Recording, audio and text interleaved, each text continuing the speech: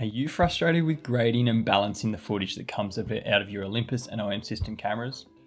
Is the footage falling apart? Or perhaps the skin tones are looking more like a scene from Willy Wonka and the Chocolate Factory? Well then stick around because I'm going to show you an easy way to color correct your OM log footage and make it pop.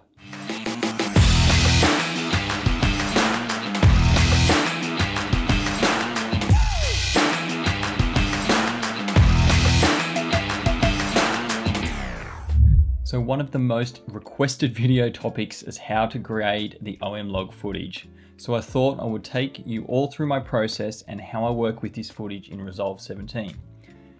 Now I am using the studio version of Resolve, so some of these features won't be available to you if you have the free version, like noise reduction, grain, glow, etc. But really, they aren't totally necessary in getting your footage to look nice.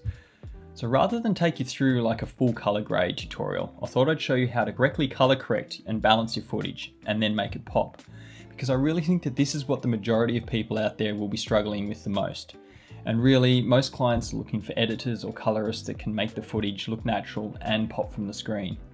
So please note that I definitely do not regard myself as a professional colorist by any means. I do, however, spend a lot of time learning from professional colorists and experimenting with my own footage to learn and refine my skills, but I am still learning myself. So the methods I'll show you are kind of aimed at beginners and it's just one of the many ways you can go about balancing your OM log footage. I'll also demonstrate this on the 8-bit footage, uh, 4K footage that comes from the cameras like the EM1 Mark II, 3, EM1X, uh, and as well as the H.265 10-bit footage that's in the new OM1. And I'm sure there's some of you out there that are going to ask what kind of computer I'm using. So I've got a top spec 14 inch uh, M1X and it deals with almost all the footage and heavy grading with ease. Still, for the methods I think I'll show you today, uh, you shouldn't be, it shouldn't be too taxing on your computer. But if you do own a slow computer, you might find some of the H.265 footage uh, is a bit slow on your computer, so I recommend converting it to ProRes 422 beforehand. I am also grading on a uh, BenQ 32 inch uh, color calibrated 4K monitor, so it's an expensive monitor, and I'm working in Rec 709 color space within the monitor.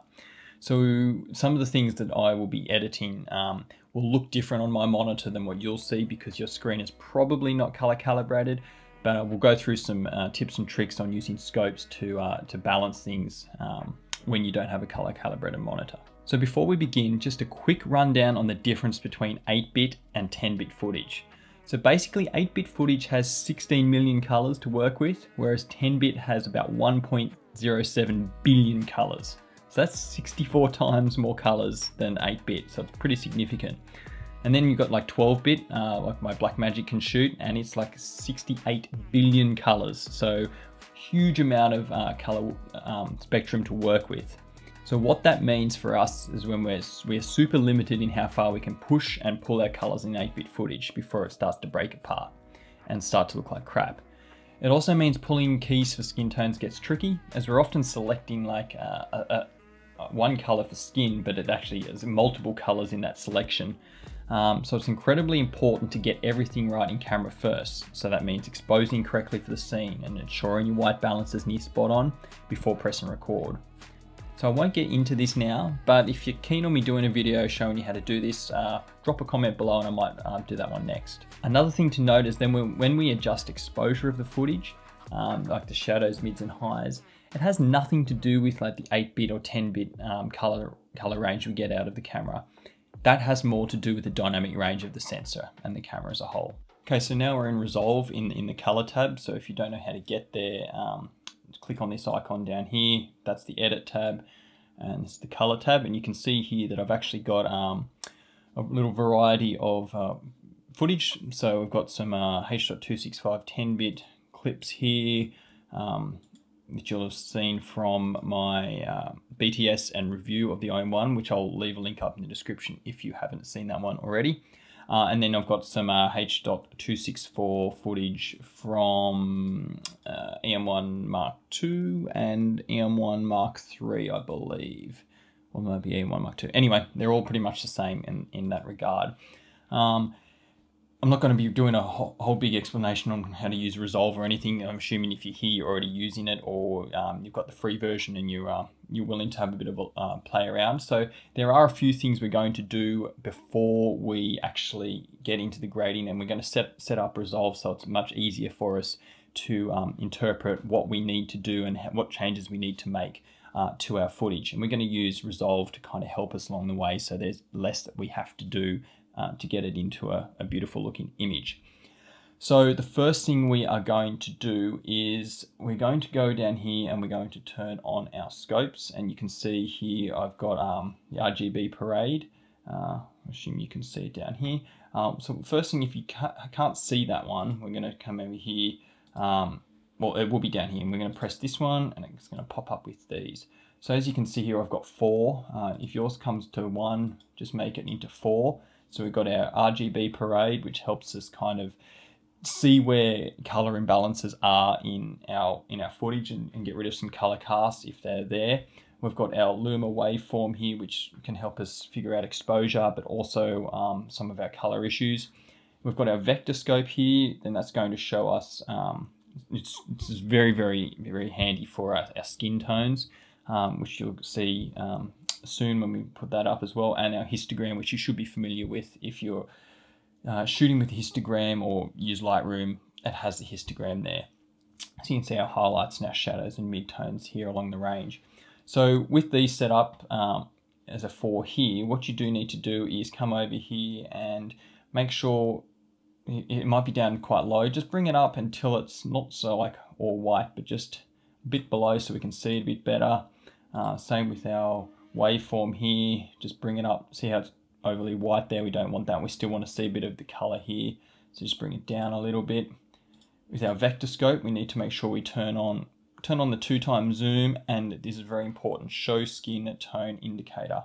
And again, don't want it too dull, but you don't want it overly bright, uh, just about there, I think. And that's good. And then we can actually move that around and um, but I'll leave that here and I'll move it around during the video um, if we need to. So now that that is set up, we also want to click on these three little dots here, and we're going to turn on this display qualifier focus. And what that means is when we come over here and we turn on our qualifier, whenever I hover over a part of the image, see here, it's actually going to have a look down on our scopes. You're actually going to see exactly that part and where it sits um, within those different scopes. And that's super important, especially with skin and and getting rid of um, and like getting our whites to be purely white, we can see what actual color there is um, becoming too dominant and we can start to pull that back. So it's a handy little uh, handy little tip there for Resolve 17. It's not in Resolve 16 or before that. So what we're going to do first is we're going to come up to our file and we're going to go to project settings. So in project settings, uh, I want you to go down to color management and you'll see here color science. So normally uh, in versions before Resolve 17 it'd be DaVinci YRGB and then our timeline which we're working in is going to be Rec 709. But what we want to do, especially to help us out here because we're beginners, is we're going to go to DaVinci YRGB Color Managed. And now we're going to click on Automatic Color Management. Color processing, standard dynamic range. We're just working in standard footage. There's no HDR here and our output color space is standard Rec 709, okay? So what this is going to do is going to funnel all of our log footage in, it's going to interpret it and, and give us um, a bit more of a, a, a better starting base for when we start editing. So what you'll see here is I'll move this over here, I'll just click save. So if we go to a clip like, say this one here, uh, where you can see how skin, there's nothing being applied to it so far and we're in the color managed um, workspace.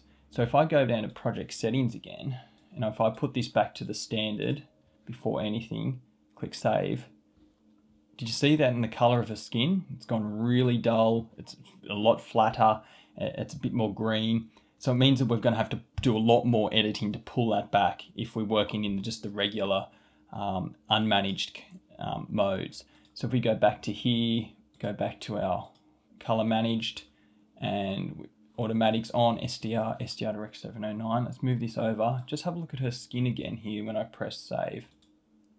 See how it just gave some more warmth back to it? And we haven't even done any editing. So Resolve has already boosted up a little bit closer for what we need uh, when we start to edit. So it's a handy little thing. Just mind you, it's not going to work on our uh, standard H.264. It's just working on our 10-bit footage here. Not sure why.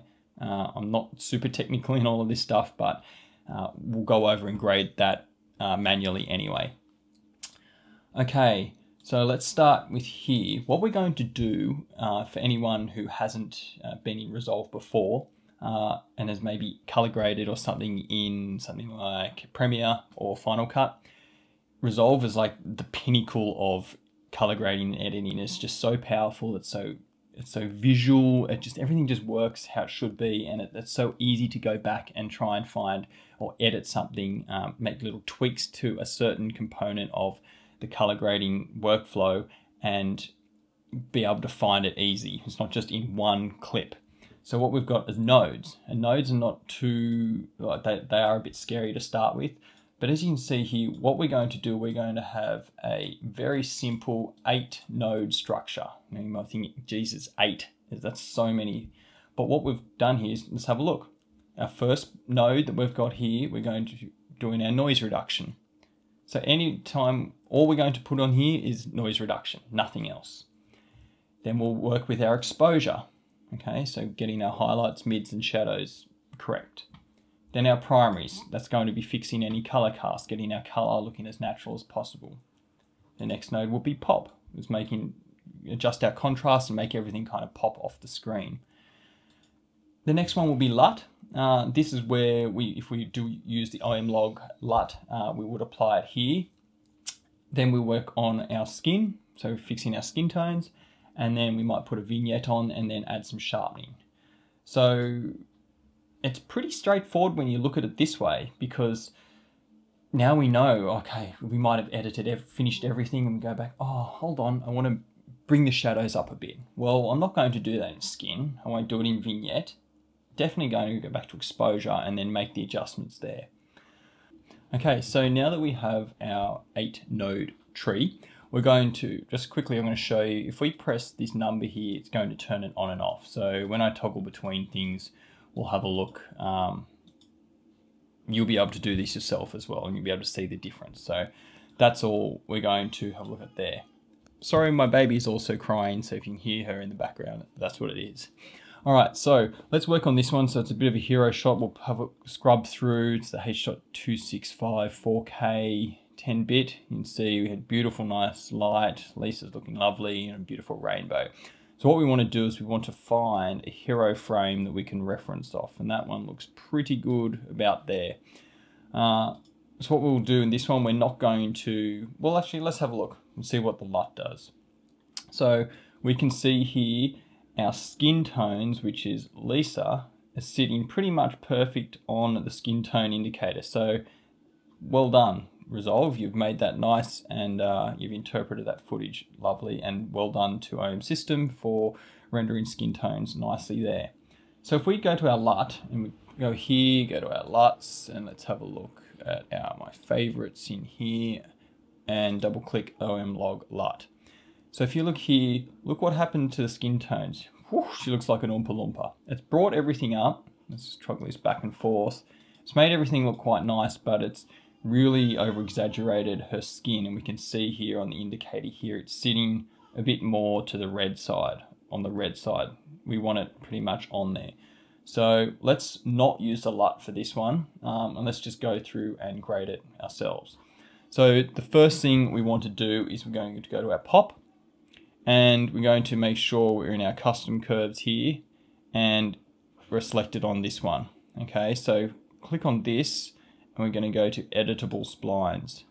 So what we do here is we click on that one, bring it up slowly and just, it's all about doing little adjustments, nothing huge and over the top because that's not what we're after here. Lots of little adjustments, tweaking to make our final look. So it's going to bring it up a little bit And there for our highlights. Click on our bottom one, our shadows, bring it down a little bit.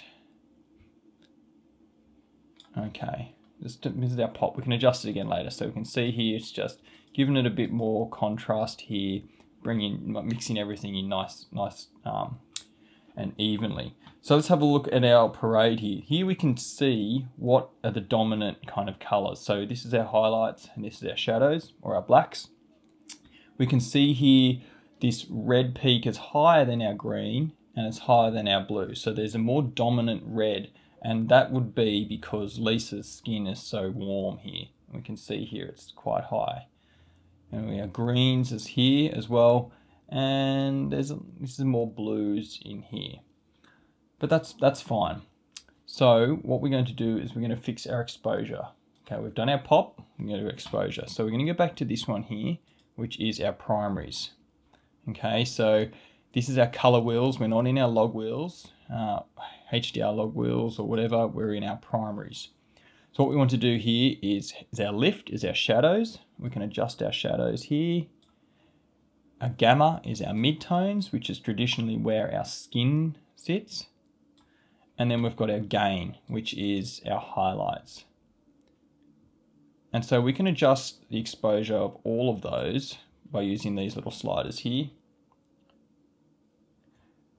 And we can adjust our offset. Now offset is just global, it's like our master.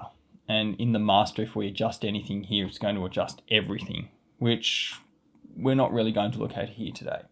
So we can see the image is a bit flat. We've got a white dress, but it's a bit dull. Um, our sky could be in the clouds here. I mean, the light was reflecting off here. So we want to work in our highlights. We can see here on our parade that we've got a bit of room here um, to work and push our highlights. So let's bring this slider here up.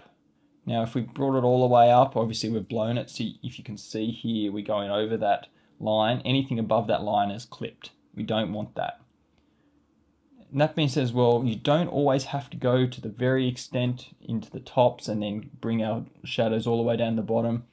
It's just a general rule. You look at professional colorists who do big professional ads, they will crush things. Okay, they'll blow things out on purpose. Okay, it all depends on the scene that you, you're uh, editing.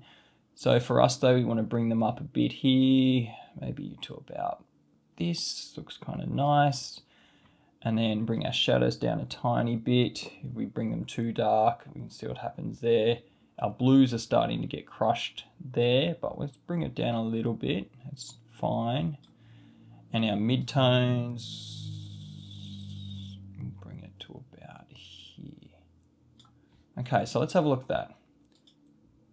Brought from exposure to here. So it's looking a bit more natural how I actually interpreted the scene. Don't worry about selective parts. Uh, we're talking about just the whole general scene. Okay, so let's look at our primaries now. So the color in here, it's actually looking quite good. Um, there's probably not a huge amount that I would do. There is a slight, we could probably uh, warm up Lisa a tiny bit so we know that our, actually we'll leave that one, I think. Um, it's actually looking pretty good. There's no actual color cast. There might be a slight blue tinge in the shadows, but that's all right. So what we do is we can drag this around. See how we adjust the shadows and we can see the shadows down here.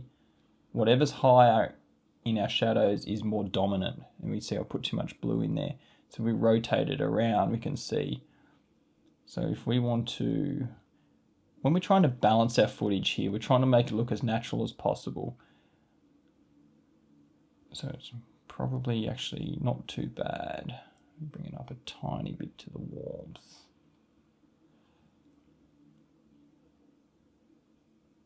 Not too much. It's pretty good. You'll see in some of our other shots here, um, it's going to be a, bit more noticeable. So turn our primaries on and off, it's hardly noticeable whatsoever. So exposure on and off, very much noticeable. Okay, so let's look at our skin. Now we can actually isolate our skin because if instead of doing like a big general kind of grade on everything and affect every color that's the same color as Lisa's skin or near enough to it, we can actually isolate that. So we're going to go over to our skin, obviously. And so we're going to click on our, this one here is our qualifier. So it's like a little eyedropper. Pretend that when we click on her, she's, it's going to be taking like a little piece of that color exactly where I've clicked and it's going to interpret it down here on our hue, saturation and luminance. Okay, so looks confusing, I know, but just think about this. I'm going to click on her skin, one, maybe there, and on her neck, and her, on her arm. See how these are moving around? It's now showing us that where I clicked, it's grabbing that little piece of uh, her skin sits about there on the hue spectrum. It's about this saturated and it's about this bright. Okay, and these just mean the range between the highlights, shadows, the range of saturation, and we can move those in and out. But obviously it's very difficult to see. So come up here and click this little magic wand. And what that does is, boom, just shows exactly what we have clicked on. So move this down here. So what we can do here is just start having a play around. So if I open this range up, it's allowing more colors in, which we don't want. We just want to isolate her skin. So let's, let's zoom in here a bit for you. Okay, so saturation, let's see if we open that saturation up. We can move that around. Obviously don't want her dress, but we want to get as much of her skin as possible without introducing everything else. So luminance again is our brightness of our skin. And we want to target about there, I think looks pretty good. So as you can see, there's not much on the outside, which is perfect. So what we also want to do when we ever we work with skin is add a bit of denoise. It just takes a bit of that artifacts away and smooths everything out. So maybe, as you can see here on the grey on her top, see how it's smoothing out a bit? Let's bring it up to about there, about 10. And then our blur radius is all about the edge. See how it's a bit sharp at the moment? So if I crank that up, it's smoothing it out. And when we smooth it out, it's going to look a lot more natural. All right. So now that we've got our perfect key, uh, we've qualified our skin, we've isolated everything we want to work on, we can now look down here on our vector scope. Uh, anyway, let's have a look at our skin. So we can see here that her skin's looking pretty good. It's on the line here, but see how it's starting to skew on the side here? That means that it's leaning towards yellow. So we know that we want to get our skin tone line on that line or as close to as possible. So let's have a think. How can we move from yellow to red? Well, let's go back here. Let's have a look. We know, as I said before, that generally our skin tones lie in our mid tones. And our mid tones here, our middle one is our gamma. So if we look at this range here, we can have a look. So here's our yellow, here's our red, magenta, blue, green, yellow, blah, blah, blah. Look at this circle. Look at this circle. It goes all the way around in our colors. So if we move this dot, anywhere I move this dot goes to that color, okay?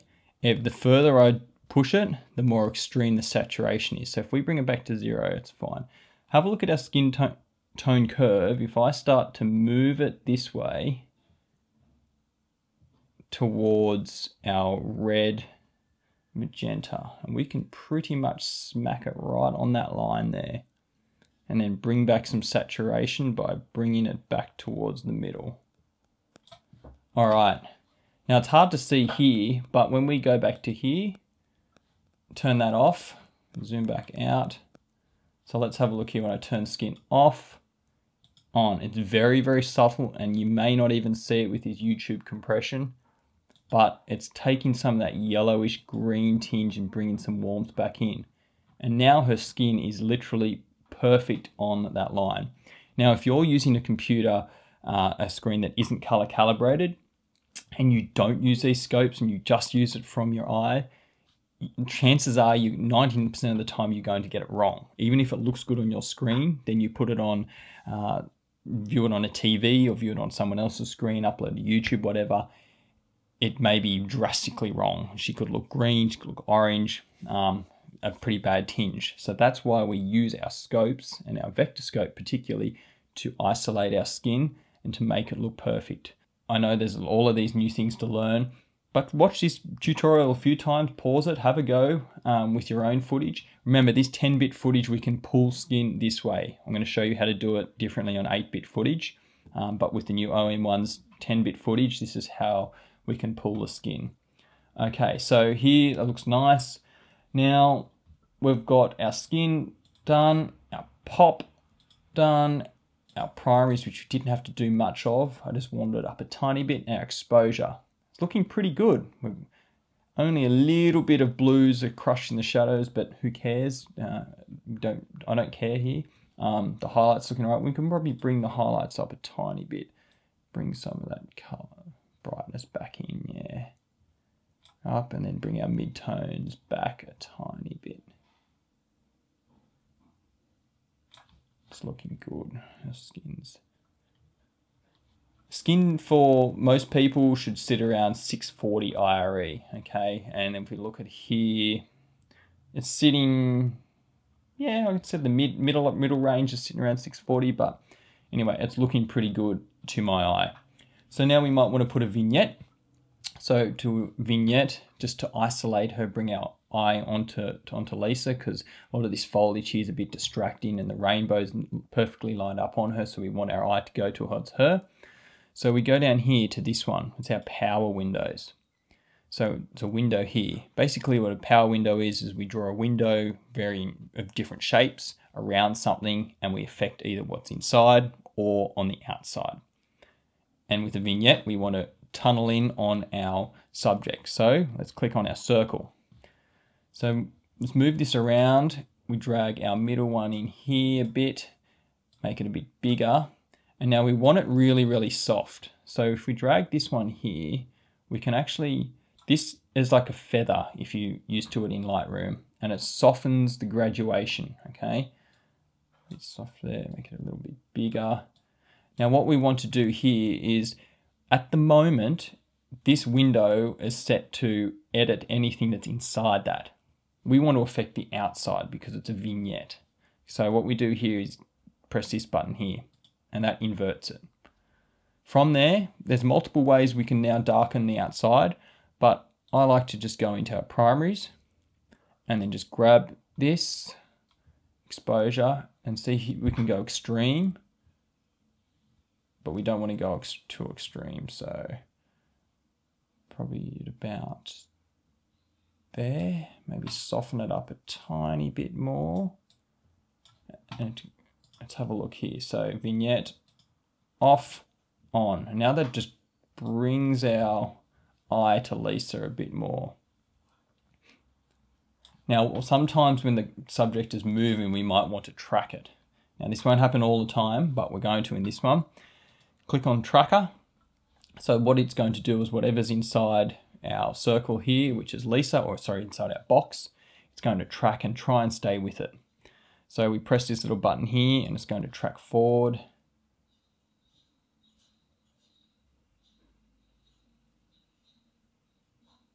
Which does a pretty good job and then tracks back the other way.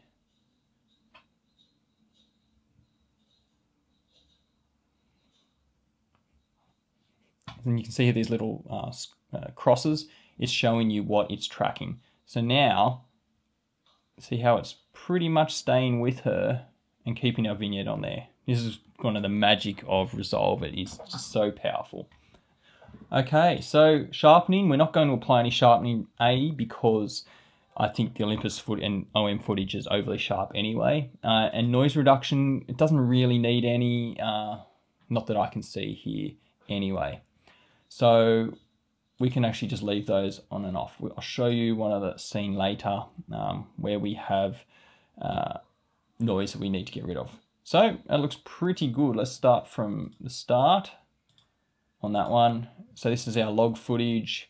We started with our pop, bring it up a tiny bit, exposure, primaries, brought our skin back, added our vignette, and there's no sharpening.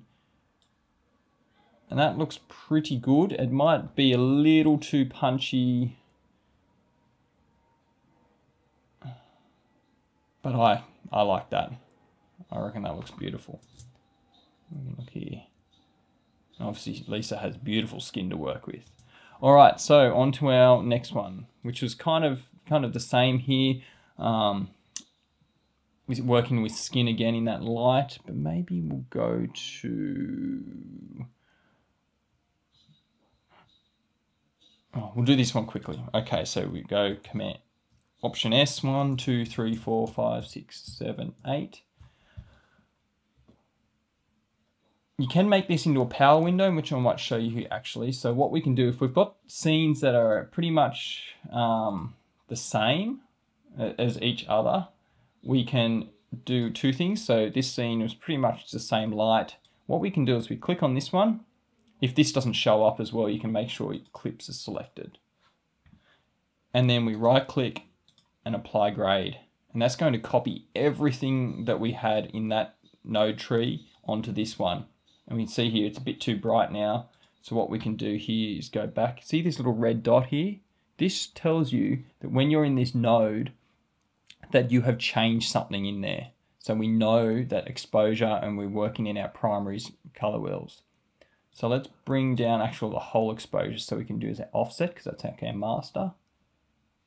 You can see it's a bit too much. So to there, bring our highlights down a tad.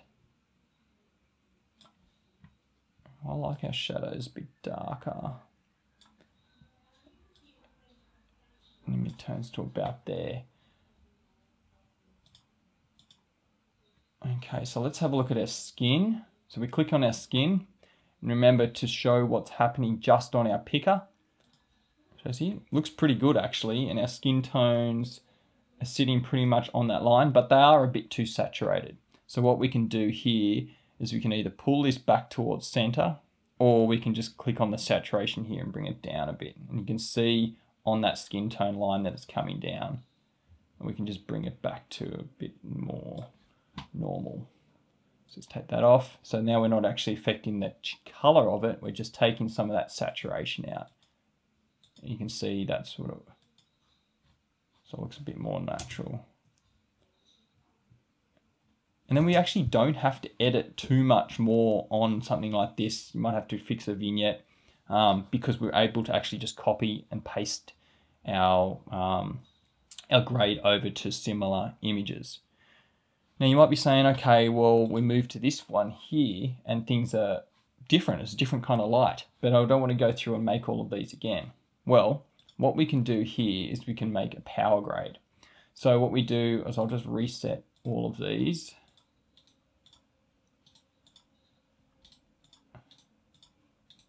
And what a power grade is, is we can use this node tree and we can make it into a power grade. So then when we go to this um, clip or whatever clip it is, I'll just put the power grade on and we've automatically got our node tree ready. So it's super, super quick going through an entire sequence and just putting your node tree in and then you just use the ones that you want. So let's go to here. So what you have to do is we come up to gallery and in power grade. And then so if we right click on this and grab still. And now it's just grab, I know it's the picture of her, but it doesn't really matter. It's using the node tree that we have made. So if we've actually put any, um, make any changes in these and we make it in the power grade, that will also copy over. So we want a blank, blank canvas basically. Uh, so when we go to our clip here, let me just delete all of those, sets it back to standard. Let's have a look at the clip. It's a lovely one of her, a bit underexposed, but that's fine. I like that moody outlook. So we come up to our power grades, which is in gallery, and then we right click, apply grade, and now we've got this already ready for us. So let's find a hero shot for us, maybe here. Oh, actually, when she looks back. Hmm, here. All right, perfect. So let's have a look here. We've got our highlights some of our shadows. It's a bit it's a bit flat because the light was flat. We can see here we haven't got much contrast because if we had contrast, our highlights would be up here and our shadows are down here. So let's go back through our what we're going to do. Let's go to our pop, back to our curves, uh, make sure editable splines is turned on. Click on here, bring it up a tiny bit. I might bring it up a little bit more this time. Not too much. With this 10-bit footage, we can push it further now, uh, especially with that new sensor. Uh, we'll be a little more precise so when we use the 8-bit. Let's bring some of that down. And we can see even though on my screen it looks quite dark, we know we're not crushing anything here. Even though I said it's fine to crush stuff. Um, what is our main subject here? Well, that's Lisa and, and all of this beautiful color here. This stuff, if we haven't got detail in the, the trees and the buildings, who cares? So if we crush that to pure to black, uh, doesn't matter because that is not what our eye is, uh, what we want our eye to be looking at anyway. So we'll leave it about there. Let's turn that on and off. Gives it a bit more pop. Okay, so now exposure. Back into our primaries. Let's go with our highlights. So let's bring all the way up. Can see we start to blow out our sky. Bring it back down a bit to maybe here.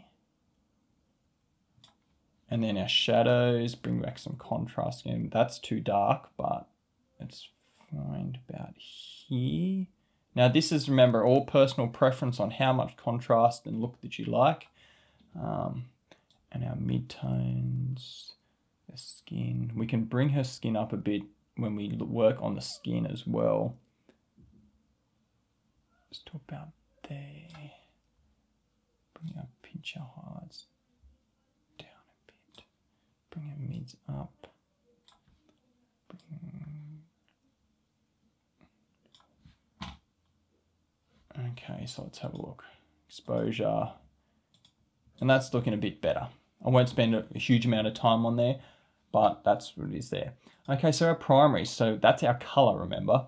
Let's have a look here. What's happening on our scopes. So we can see here that our red in our highlights is dominant because we've got our, our sky, which was a beautiful fiery sunset. So naturally our scene's going to have more red in it. Uh, and that's fine. We want to accentuate that. We can see here on our waveform that red is high, um, the blues are a bit lower. But in our shadows, our maybe there's a little bit of green um, that's a bit, could be brought up, but that's fine. Our vector scope, a good way of uh, talking about white balance in a vector scope is the more centered we can put that on the cross is generally having the closest we can get to for our um, white balance, just as like a general rule. So let's have a look here. Her skin sitting pretty, it's pretty dark, but it is quite on that line. Um, we can see here again, our reds are pushed um, higher because of the light. So what we might do is we won't tweak it too much, but we want to accentuate that. So we know in our sky that we had beautiful color, and I know it actually had lots of color like this. So I'm not I'm not um, worried about bringing that up a lot higher. So we have to add some color contrast. We can, if we put boosting our reds up, uh, we can put some more blues back in the shadow and add some of that color contrast into the scene even it out a little bit, but not too much. Maybe just one. Midtones, I'll just leave for one moment. Bring that up a bit brighter. Maybe boost that a tiny bit warmer. Let's have a look here. So we've gone from that and added some, now we're not color grading, we're just color balancing, uh, color correcting and but we, because we're not going to be grading, I did add a bit more color to this one because that is actually how the scene did look. So I might just give it a bit more pop as well. Go back to the pop, give it, click on the editable spline here, bring that, oh, that's up a bit there. Back to our primaries, I'm going to give it a bit more color, and this time we're going to use the saturation slider, uh, sorry, uh, values. If we just click on this down here, and just do a couple, bring it up a tiny bit. So now our reds are actually clipping. So I'm just bring that red, if we click on actual red just by itself down here, bring that down a tad. And then bring a saturation back up. Okay, let's have a look at that. Looks pretty good.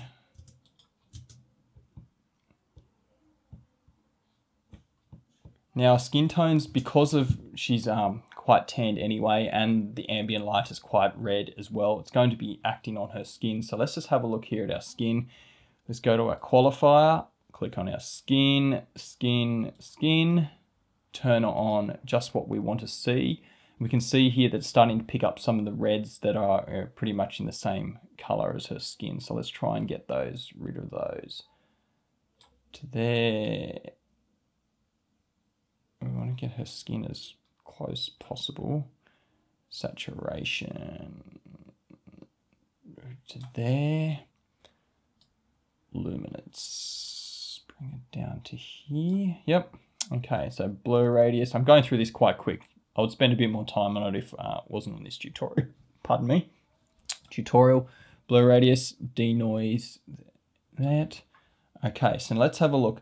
Her skin is, see how it's aiming up towards the red? It's really biased towards the red here. So let's try and um, change some of that. We'll try our first way is to use our gamma because that's our midtones. And we'll try and bring it a bit down more towards the green and sit that on the line. Looks pretty good. It doesn't have to go right on it. Okay, so let's turn that off. Let's have a look at our skin now. Going from a deep magenta to a little bit greener, might be a bit too much. Let's go back to here. Back off on the green a bit just a tad.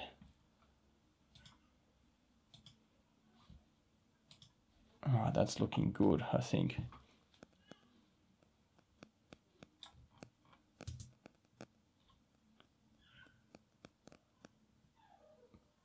Perfect. Now let's have a look. There's not too much noise in this again, so we're not going to worry too much.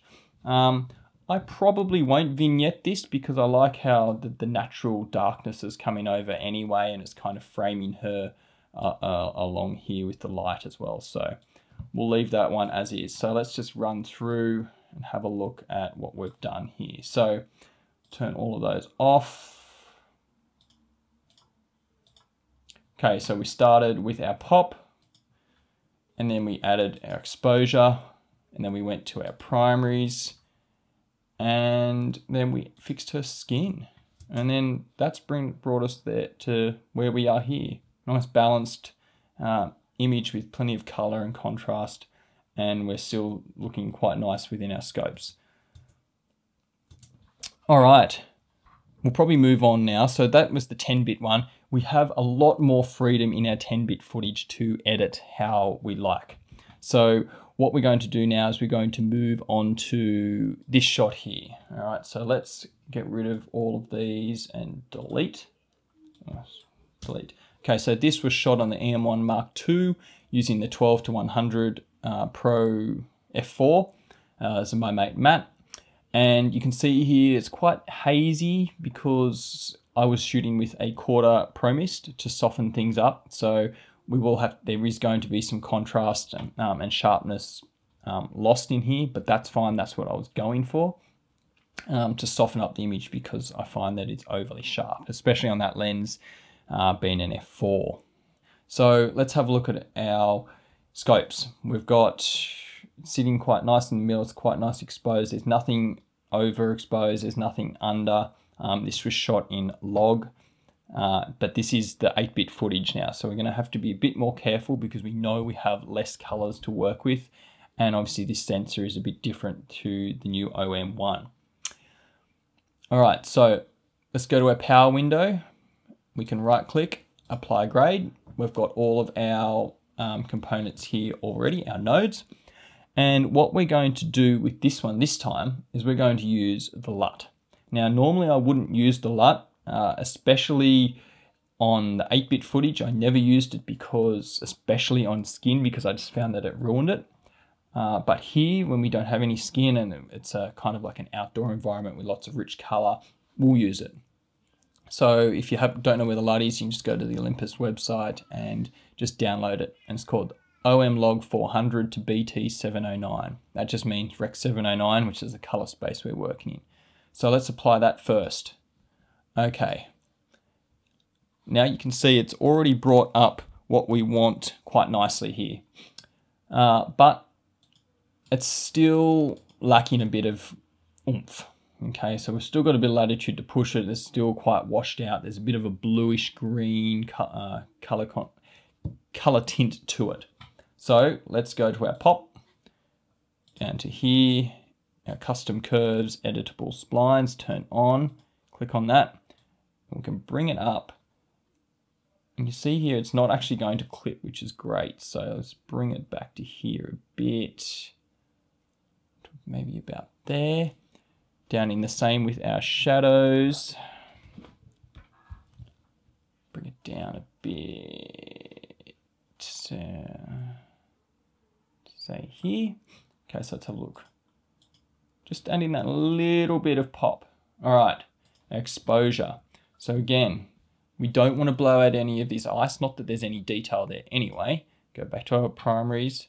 Let's just bring it up and just have a look how do what do we like? What is the main focus? Do we want do we need to see lots of detail in the ice or do we need to um, preserve our shadows more? And I'm going to park it somewhere around there because I'm looking at the jacket and the bag. That's good there.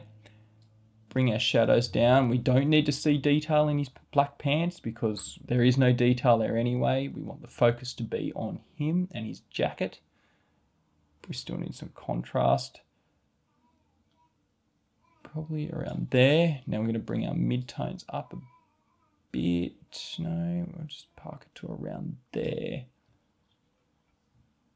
Bring our highlights up a tiny bit. And shadows down. All right. Again, I won't play around with it too much for the purpose of this one. So look at exposure. We've fixed it a little bit. Uh, we know nothing's clipping, we've still got detail in everything. Probably add it actually a bit more blacks. All right, good. All right, so onto our primaries. So we can look here, this, this line here actually just represents his jacket. Okay, you can see that it's sitting on there. We don't have skin tones to worry about, so we can be a bit more, um, we can we can change things a little bit more. So if you have a look here, the overall tint is sort of like a, uh, I know, an, a greenish kind of tint. That's in the highlights. Uh, we can see here the highlights, a bit difficult to see in this one, but the greens are slightly above the reds and the, so are the blues. So in our highlights, we're going to grab this and instead of adding more green, we're going to add a bit more, go up towards magenta, red, and you can see that instantly took that color cast out. So let's just quickly have a look there. Off, on. And see how we just straight away we took out some of that, that um, horrible green color. So if we have a look at our shadows, we can still add a tiny bit of blue because I like the blue. Actually, no, I think it was just in the highlights. Let's add a tiny bit more, more towards the red. Okay, so let's have a look here. And you can see here on our scopes, when I turn on and off, we've just balanced those lines out a bit more. Obviously there's a lot of blue here because the water's blue, um, but I just took out some of that tint that was over our rocks here. So that's the idea, doing little, little amounts to try and get our color back. Okay, so we don't have skin to work with, that's fine. Um, we do have, let's put a vignette on there because we want to focus on Matt. So click on our vignette, our power window, our circle, because that's what we were dealing with. Bring in around Matt, bring it up a bit, soften it up, invert it, back to our primaries, and then darken that in just a tad. And then we're focusing now on Matt. So let's have a look with and without. Just adding that little bit of extra brightness to him. So think it still could take a little bit more brightness there. All right, so the sharpening we don't have to do anything to because I purposely softened it and there's no noise in this clip anyway because of how it was shot um, in the daylight. So that was a super quick way to balance our footage there. Let's turn all of this off and let's go back through the start. Okay, so we started with our LUT and got us to a decent way to space to go, but we could make it better. So then we popped it. We adjusted our exposure. We took out that color cast. We added a vignette. And there's our footage balance for that one. Okay, so the last one, or probably the second last one, is this footage here. This was shot on the EM1 Mark II uh, with my friend Naz. A video, I'll leave a link up in the description as well. Uh, this was for the release of the Sirui 35mm anamorphic lens, which I absolutely love. So it's quite clean lens, but you can see it renders everything beautifully. I've already edited this one here, but we're going to go through and, and do the same as well. Um, all right, so let's delete all of those. Okay, so you can see here already. Let's have a look at our image. Find a hero shot. Let's make this bigger for you we've got an overall green cast because why? Well, the, the light's starting to end um, at the end of the day. We've got green roof, we've got a yellowish um, court. It's all reflecting on her. Okay, so we can, if you saw here, we'd have some greens that are quite raised. And the yellows are quite raised. And we also see that it's a little bit overexposed. You can see on her hair. Remember, this is the EM1 Mark II 8-bit footage. Um, and with that older sensor. So I actually probably overexposed it a little bit too much. So let's go to our gallery, find our node tree and apply our nodes. Okay, for this one, let's have a look what the LUT does. Let's go to LUTs. Okay, so it brings it up, but it's it's not it's not the best. Okay, it looks a bit, it just doesn't look right. So let's get rid of that, reset that. We're gonna do it manually. So First things first, let's go to our pop. Editable splines is on. Now I'm going to be gentle with this here because we're already overexposed a tiny bit. We're going to just do a tiny little bit. we might go back to this. Ooh, let's bring that back down. But we can definitely bring back some shadows there. Okay, we'll come back to that. Our exposure, let's have a look. We've got here we've got blown out highlights. We've got some light here, some light here, some light along here in the edge of her arm. We've already lost this detail, but what we can do is bring this highlights down. We can see here that it's, this is where it had clipped in when I shot it. If I bring that over, I can bring it, we've already clipped some of that detail. So we can go up to there, maybe a tiny bit higher bring our shadows down a bit. Bring some contrast back in. Brighten our midtones to about there. Shadows down a bit more.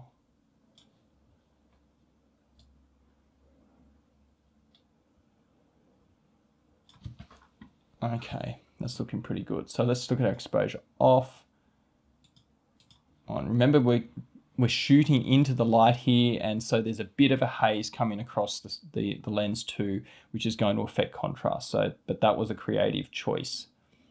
Okay, exposure's done. On to primaries. Now let's have a look at what we've got with our primaries, sorry, with our color. We talked about the overall yellowish green um, tinge. So that's in our highlight. So let's have a look here. Yellow and green sit around here. So in order to get rid of some of that, we want to push to the opposite direction. So if we push into this direction, the magenta blues, let's go a lot too much and then bring it back.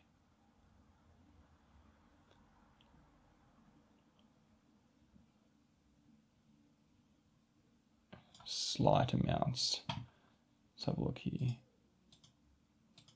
It's already removed some of that, but it's a bit too much our shadows.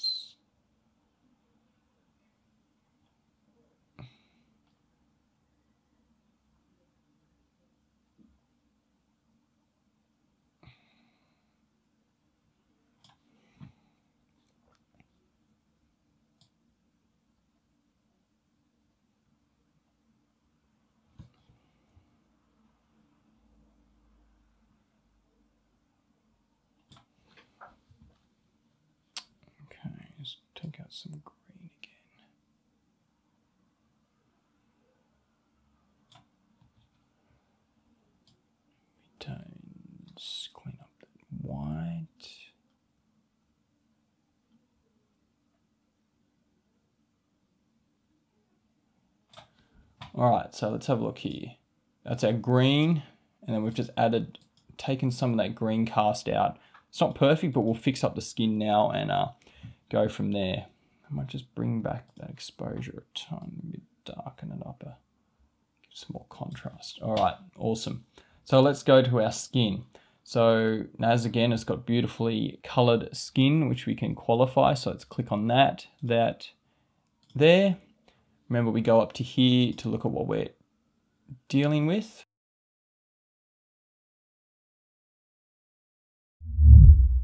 Okay, I'm going to just show you this and then see why we can't do this. It might be difficult for you to see, but can you see how the skin's kind of falling apart here? It's it's there's there's patchiness and there's it just looks bad, okay? And that is because we're working with the 8-bit footage. And when I'm trying to pull her skin here, because there's only a limited amount of colors, 16 million colors to work from, when I click here on her skin, it's also sampling other part, other colors that it thinks are there. Whereas with our 10-bit, it can really hone in on her exact color. So what we need to do is we're going to reset that. I'm going to show you a trick here that I learnt from um, my color grading people, uh, Jake Pike. I'll show you his uh, link up here. He shows a great way of doing it. So we go up to click on our skin, go to color, presets, and six vector red. So what this does, it's only focusing on the reds um, in the image, which is around what our skin's going to be. It's going to leave the other things alone and, and kind of help smooth things out. I don't exactly know what it does, but it works far better than doing it without. So now we can go on to our skin. Let's click on our skin. And now, okay, back to here and let's let's start to find our skin better again just how we were doing it before saturation luminance blur radius up again denoise okay so let's look at our skin again let's grab over here and this time when we add Let's work with the offset actually. So it's a global, we're just working on our reds here. So bring back a little bit of the reds on that side. Not too much. Just a tad.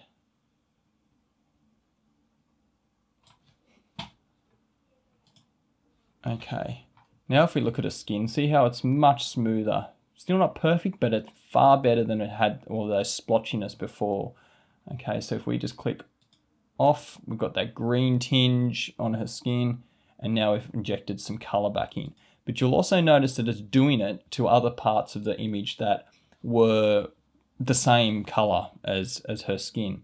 So what you can do, this is a bit of an extra tip, you don't have to do this, is we make a power window around Naz and we will only, we'll tell Resolve to only do what we want, uh, sorry, only affect what's inside there. So what could we use? Well, we're going to use the power window just like the vignette. So click on our window, click on our circle here, bring that around Naz, make it a little bit bigger, soften up a tiny bit. Okay, so now any this is only affecting what's inside the power window. See over here, have a look here, it was affected before. Now it's doing nothing. It's only affecting what is inside that power window. Now obviously this, this is a moving clip, so we need to track it. So click on our tracker, back and forth.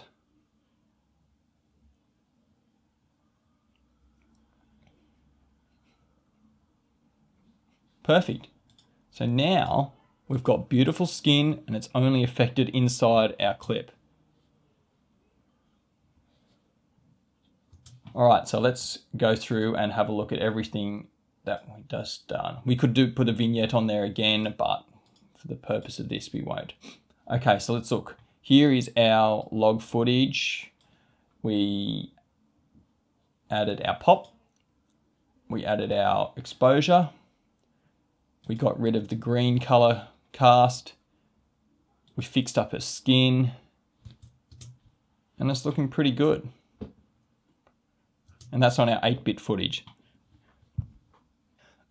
Okay, on to our last shot because I actually have to leave here very, very soon. Um, we're going to delete all of those. This is Matt and I when we went uh, for a bit of a hike uh, off my little mini film of the EM1 Mark II called Reset. I'll leave a link up there as well. Um, this is shot really, really late at night with a 17mm f1.2 on the EM1 Mark II. You see, it's a beautiful shot actually. I didn't even know, I forgot I even took this shot. So let's go to our gallery, get our power grade and apply it. Close that. Okay, so this time let's have a look at what the LUT does. So let's go to our LUTs, click, and it does a pretty good job here, I'd say. I mean, it's made his skin a bit more purple, or sorry, pinkish, but it adds, but that's what the color light was bouncing onto his skin. So let's just use it for, for this, um, this time. So it's trigger on, off, and you can see here our shadows now are a bit crushed, which is a black backpack.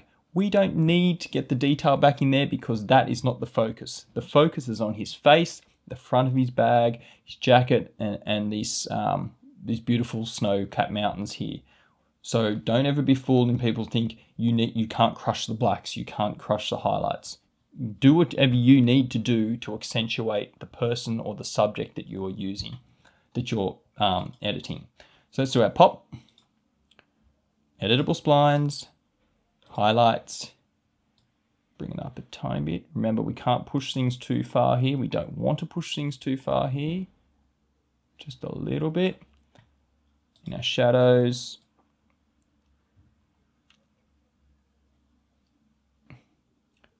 Just a tad on the shadows. Okay. Off. It's a very subtle one on this one because we don't need to do too much because it's already a beautiful shot. Sometimes people try and over edit things as well. When if the footage already looks good, just do the little tweaks to give it that extra oomph. So let's bring our highlights all the way up and you can see that that's too much and we start to to lose, to um, crush the footage a bit too because we just don't have that range. So let's bring it here, we'll just bring it up a tiny bit to get looking at his face, exposing for that nicely, and some of this snow. Shadows, if we brought them up, see it's so, we don't need to do all of that. Back down to where it was crushed a bit, I think. It was fine.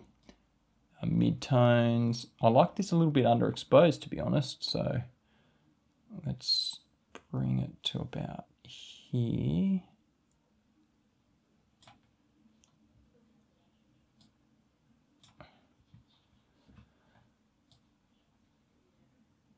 All right, that looks good. Let's so let's turn exposure off and on. It's just brought back a bit of that exposure and we'll add a vignette later. So primary, so let's have a look here. We've got dominant blues because of the jacket, the sky, um, and just the, we're shooting at um, dusk.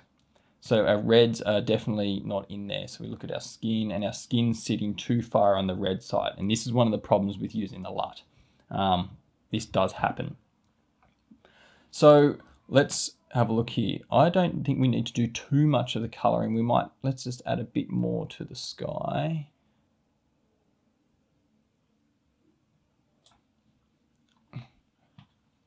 Now shadow's probably a bit too much. We'll bring it back a tiny bit. There's actually not too much we want to do here. So we've just added a tiny bit more pinks back into the sky. Okay, so our skin, let's see what we can do here. Again, we're working with 8-bit footage, so let's go to our color, uh, presets, 6 vector red, and let's qualify our skin. Okay, let's have a look here. Let's try and get our skin sitting good. His hat's the same color. It's good there. All right, blur radius up. Denoise, smooth all those artifacts out. Okay, now we can look here. Our skin is way too red and magenta. So let's have a first play around with our offset and see if we can bring it back down a bit. It's actually going to look all right, I think.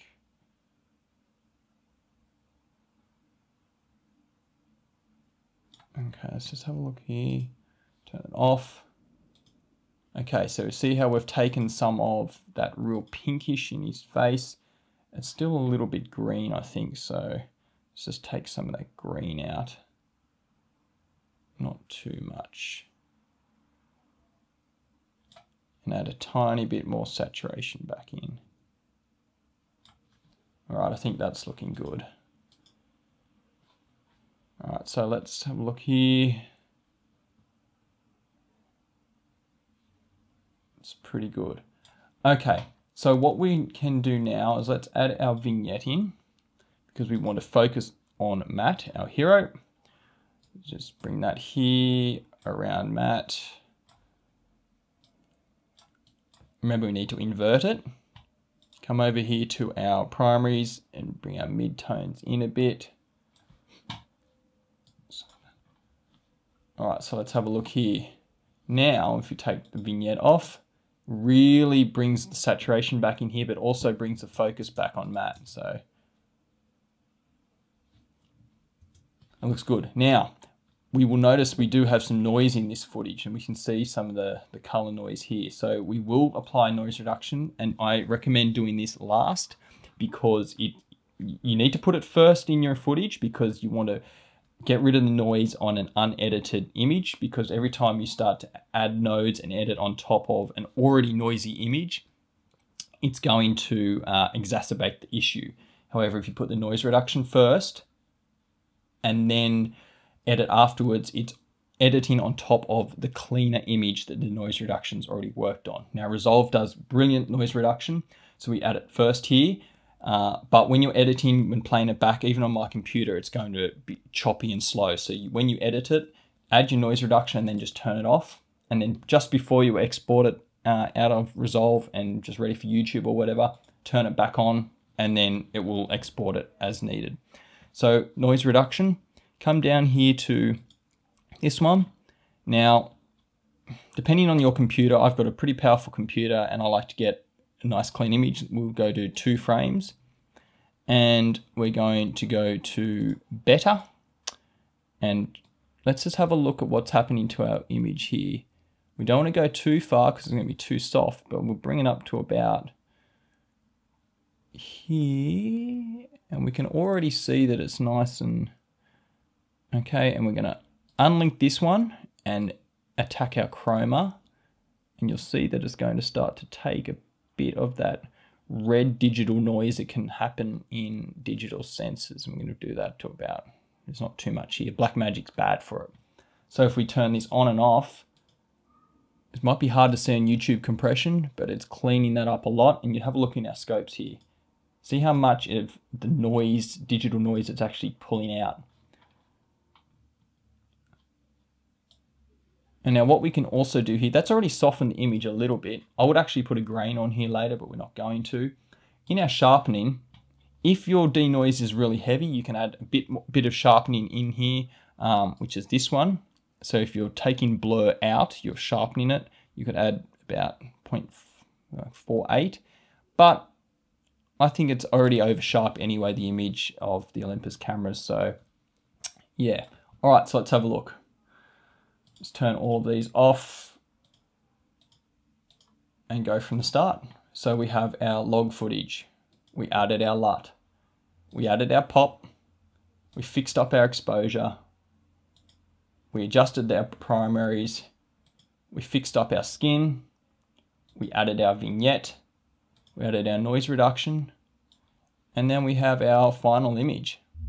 All right, guys, so that about wraps it up. I know that was, again, a really long one, but I think there doesn't seem to be many videos out there uh, on how to grade log the OM log footage and it can be very, very tricky. I think that six vector thing that I got from um, Jake was a really, really brilliant way of editing um, skin without making it fall apart. Uh, so what we'll do now is we'll finish up here. If you do have any questions, which I'm sure you will, drop them in the comments below. I know there's a lot for a beginner to go over here, but by making those power grades and just doing it piece by piece, uh, labeling everything and just doing it little by little, little tweaks, you should get great footage. If you have any questions, drop them below. And I have more videos planned like this, maybe going into actual color grading. Stay tuned for that one. And I'll see you very soon because there is another one coming. Catch up.